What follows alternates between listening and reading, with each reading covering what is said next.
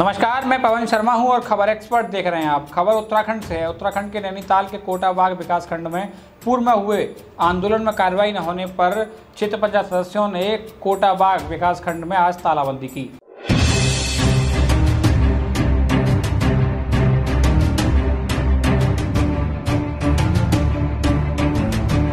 हम आपको बता दें कि उत्तराखंड के नैनीताल के ज़िले विकासखंड कोटाबाग में पूर्व हुए आंदोलन में सुनवाई न होने के कारण आज विकासखंड कोटाबाग में तालाबंदी कर दी गई है, जिसमें आज ज्येष्ठ ब्लॉक प्रमुख शशि डंगवाल के नेतृत्व में 25 क्षेत्रीय पंचायत सदस्यों ने विकासखंड कोटाबाग में तालाबंदी की है। सभी क्षेत्र पंचायतों का कहना है कि मनरेगा के विकास कार्यों में यहाँ अनदेखी की जा रही है। कोई भी अधिकारी क्षेत्र पंचायतों की बात सुनने को तैयार नहीं है। जिस कारण आज सभी क्षेत्र पंचायतों ने मिलकर नारेबाजी की। व विकास खंड में तालाबंदी कर दी, जिसमें ब्लॉक प्रमुख सचिव डंगवाल का कहना था कि अगर हमारी आगे भी अनदेखी की गई तो हम प्रदेश स्तर तक जाएँगे और अपना आंदोलन जारी रखेंगे।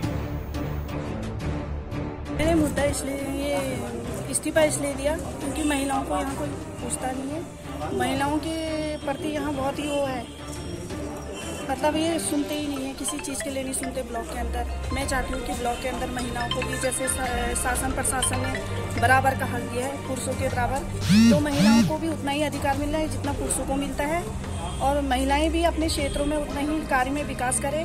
और सभी क्षेत्र पंचायत सदस्य हम मिलकर ये चाहते हैं कि अपने अपने क्षेत्रों में जितना भी हो सके, गाँव वालों, क्षेत्र वालों के लिए खूब विकास कर सकें। और मिलजुल के काम करें। इसीलिए हम लोगों ने चाहा कि चलो मिलजुल के जितना भी हो थोड़ा भी हो सभी को मिलना चाहिए सभी क्षेत्रों में सभी को मिलना चाहिए थोड़ा थोड़ा हमारे प्रमुख जी अब आज आए हैं।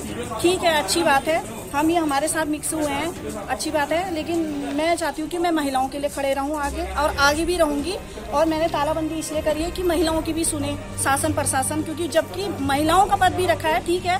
अगर ये महिलाओं को पद नहीं सुनते हैं कोई चीज़ नहीं सुनते हैं, महिलाओं की नहीं सुनते हैं तो हमको रखा क्यों है? इसीलिए मैं चाहती हूँ कि मेरा, मैं अपना पत्र त्याग इसीलिए दे रही हूँ। और आगे भी मेरा संघर्ष जारी रहेगा। अगर महिलाओं की सुनते हैं, सरकार सुनती है तो पुरुषों के सरकार ने महिलाओं को भी पुरुषों के समान ही अधिकार दिए हैं। तो सुनेगी, सरकार भी सुनेगी। मैं चाहती हूँ सरकार को मैं इसी ये मीडिया के ज़रिए मैं कहना चाहती हूँ कि महिलाओं की भी सुने, महिलाओं को भी आगे बढ़ाने की कोशिश करें, जिससे पुरुषों के साथ मिलकर आगे को काम कर सके क्षेत्र का विकास कर सके।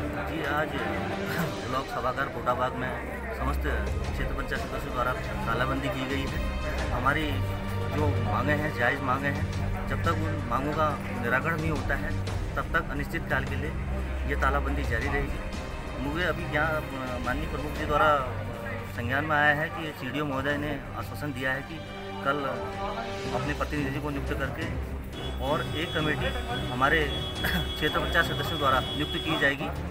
और उस चर्चाओं पर उन विषयों पर चर्चा की जाएगी जिन विषयों को लेकर के यहाँ पर जिन अनियमितताएँ इस ब्लॉक में आगे भी अगर आगे आपकी मांगे नहीं मानी गई तो आपका अगला कदम क्या रहेगा आगे भी हम इसको ज़िले स्तर पर ले जाएँगे इस लड़ाई को प्रदेश स्तर तक ले जाएँगे।